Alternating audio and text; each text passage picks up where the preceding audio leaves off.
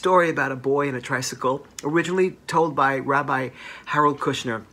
Little boy comes home late for supper, and his mom is really worried and asks why were you so late. And he says, Well, mom, on the way home, I saw another little boy crying because his tricycle was broken. There was a wheel that fell off, and so I stopped and I helped him. And she said, You helped him fix a tricycle? Well, that's great. What do you know about how do you know how to fix a tricycle? He said, No, no, mom, I didn't I didn't fix the tricycle. I sat on the curb and I I helped him cry.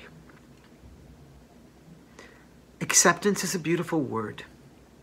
Being able to accept life on life's term. Forgiveness, a little more difficult. Forgiving life for life being the way it is. I think it's a little easier for children to deal with concepts of acceptance and forgiveness than it is for us as adults.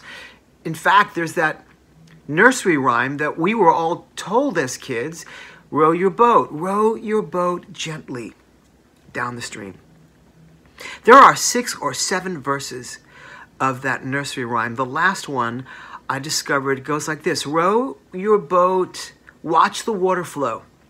Like, the rowing is fun, but rowing's hard. This is what I know. Rowing's fun, but rowing's hard. This is what I know. I was I was teaching a Zoom class a few days ago with some students from Penn State University, and one of them asked me, Scott, do you think life is fair? I think that if he and the other students, we would remember or have ever been, had ever been taught that final verse, we would understand that life isn't fair. Life is fun and life is hard. This is what I know. Michael Callen was one of the longest surviving people with HIV and AIDS in the mid 80s, early 90s, and he wrote a book called Surviving AIDS, where he traveled around the country and asked other long term survivors at the time what it was that they, he, they think was keeping them alive. This is before the advent of antiretroviral therapy that we now know works. And he discovered that the one thing they all had in common was that while they treated their virus a little differently, medicine, medication, um, meditation, whatever it was, they all believed that the virus was real. They accepted the diagnosis. There was at the same time a virologist named Peter Duesberg who did not believe that HIV leads to AIDS and that AIDS leads to death. And he convinced a lot of people to follow his way, and all of those followers died of AIDS. I got infected with HIV in 1987. When I got my diagnosis six months later, the the counselor gave me my results and said, "I'm sorry, but it's positive." And I thought, well, I thought many things. First, my mom. Second, my dad. Third, I heard a voice, or in fact, it was more like I felt a prompt. I saw a word cloud over my head of words that formed into a poetic sentence that went something like, Are you ready? The question was, Are you ready to stop running from death? Are you ready to stop running from life? Acceptance, sitting on the curb, bowing your head, and saying, Ah, now this. Soon after I got my HIV results, I joined a support group where we would sit and talk for weeks, months, years, decades about living with, and some of us dying from AIDS. And anytime somebody would come in with a question, the facilitator would answer the same way. Sai would say, Ah, now this. But I'm so afraid I'm going to die of AIDS. Here we all are. But I don't know what to do. And all this is a part of all that is. Surrender only to this moment, to this life, to this day. My friend George Melton was dying of AIDS, and before he did, he wrote a book called Beyond AIDS. And I pulled it off the bookshelf and I wanted to share it with you, and I realized I'd never actually read the inscription, the dedication.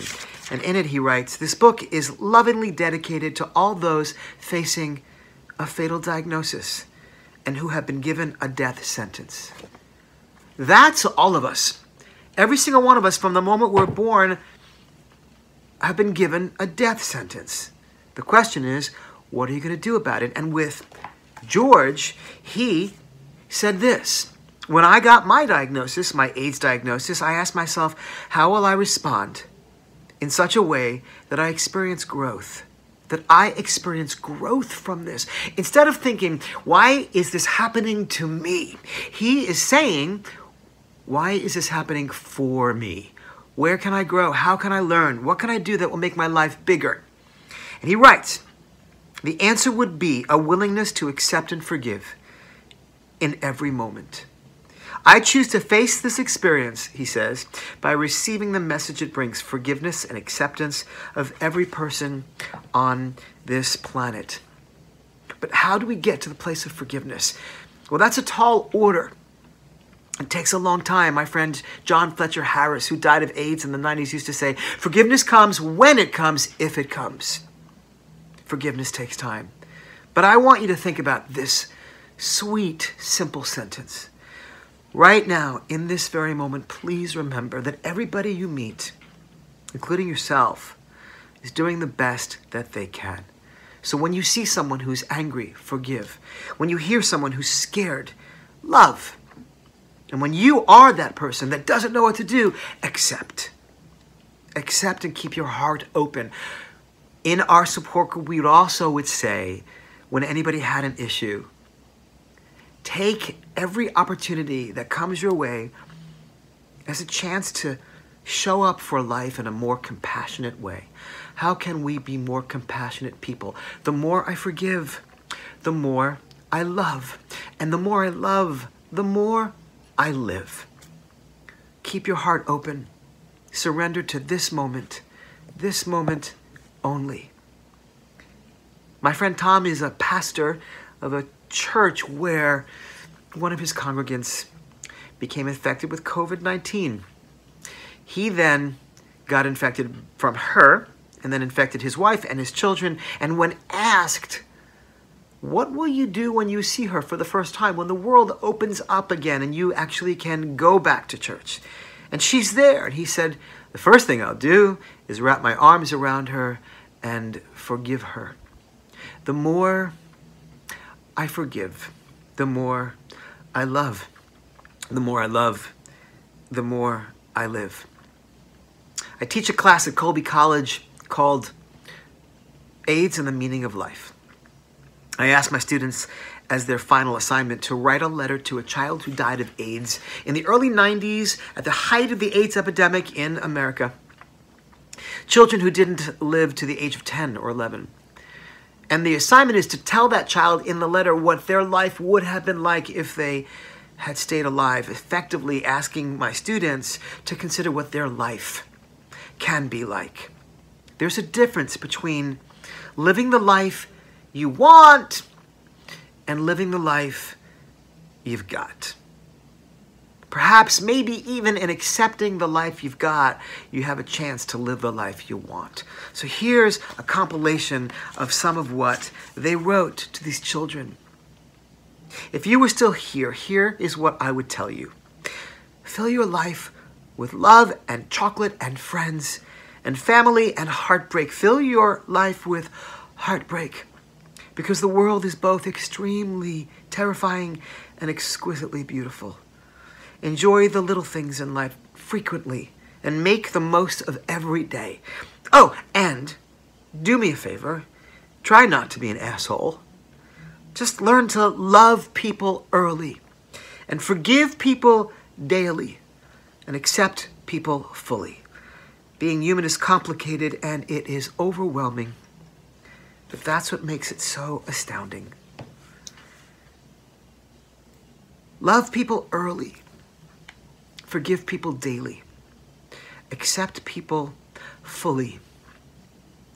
In this moment, surrender only. And row your boat gently.